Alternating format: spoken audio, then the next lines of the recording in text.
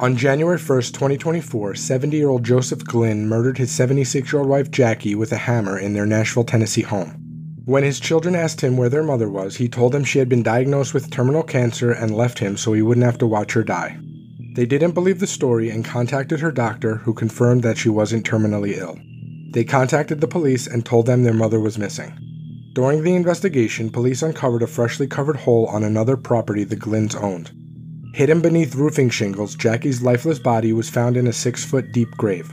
Joseph had asked a contractor to dig the hole weeks before the murder, claiming it was for a burn pit.